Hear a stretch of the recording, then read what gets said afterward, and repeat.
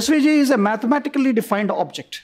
So you draw a line, you're actually saying that from this point to this point, draw a line, and the thickness of this line is so much, it has the outline of this much, it has a fill color of this much. So for every object, you have a lot of properties. You can go on modifying all those properties, and then you're, you're, you're done.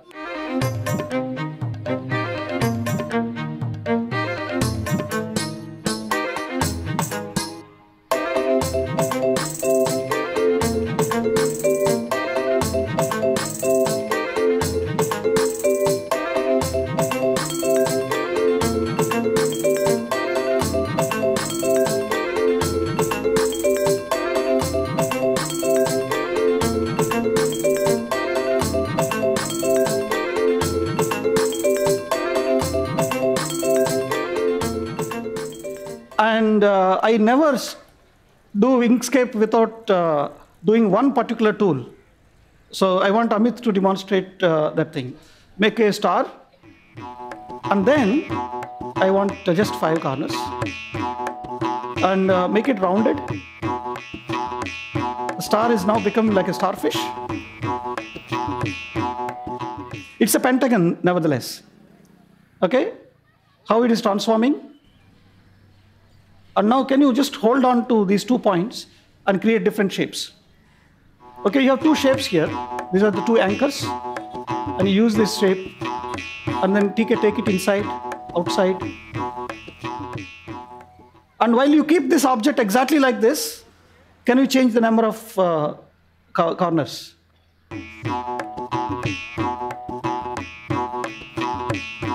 And then keep it inside like this. You can change the outline, color, and things like that. You know, paste those things, and you can create a brush of the same kind, and then you know put it all over the place. There, there's no end to the kind of creativity that you can do with computer graphics. So now you have a complete uh, suite or a studio with you for doing lots of things. So what we do, if you have to create a logo, we use Inkscape. Okay, you want to create a banner for your website, we use Inkscape.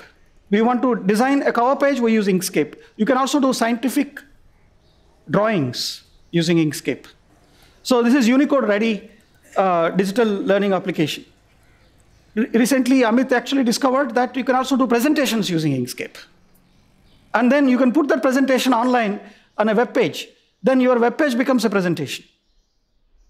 Why? Because SVG is a standard for everybody. Okay, so uploading is uh, like any other file. You just go to login and go to uploads, add a file to your thing, it will get uploaded. Okay, so right now we have seen circles, squares, stars. These are some very basic shapes, but they are not the shapes that you find usually around, around in the place. So for example, uh, let's say I choose a circle tool. Okay, and I make it a perfect circle here. Maybe 500 pixels wide and 500 pixels wide.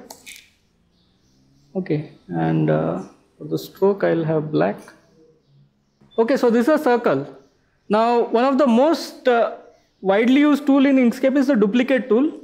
You can, the shortcut is Control D, I pressed it, and I have two objects. Okay, so let's say I want the moon-like shape, okay? I want this shape, not the circle shape. So what do I do?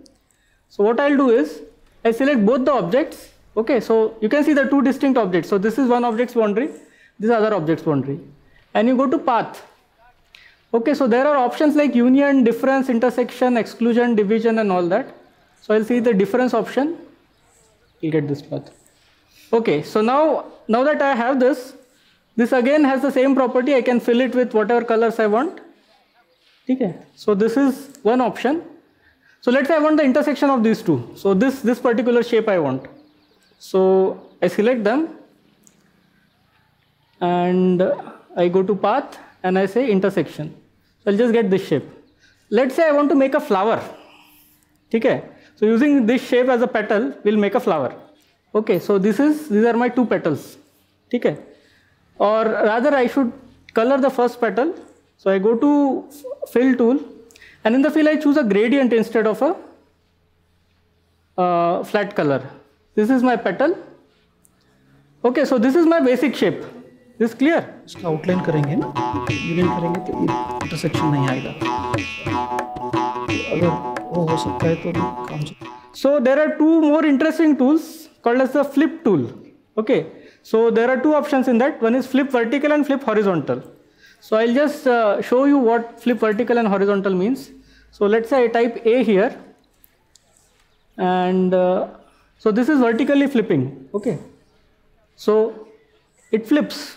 It turns it over by 180 degrees. It's a reflection rather. Okay. So with H I can flip it horizontally. Okay, so I can flip it like in a mirror. And I group them. Okay, so group is another tool that you will be using frequently. Control G for group and Control Shift G for ungrouping objects.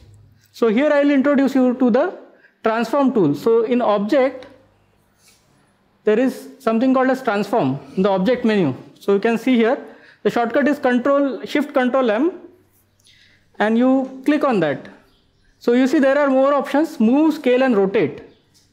Okay, so in the rotate option, let's say, how much do I want to rotate it with? Let's say 30 degrees. Okay, so I say 30 degrees and I say apply. So see, so this has been rotated. ठीक है तो अभी आप दो ही choose कीजिए तीन मत कीजिए चूज़ दो ऑब्जेक्ट के साथ ही काम कर रहा है। तीसरा वाला आ रहा था इसलिए नहीं हो रहा था जो वाला। ठीक है तो दोनों को सिलेक्ट कीजिए और पाथ करके इंटरसेक्शन है दोनों का बराबर है? ठीक से अभी उसमें आप ग्रेडियंट फिल कीजिए।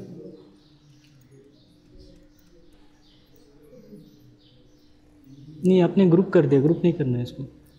ग्रुप करेंगे तो नहीं होगा वो।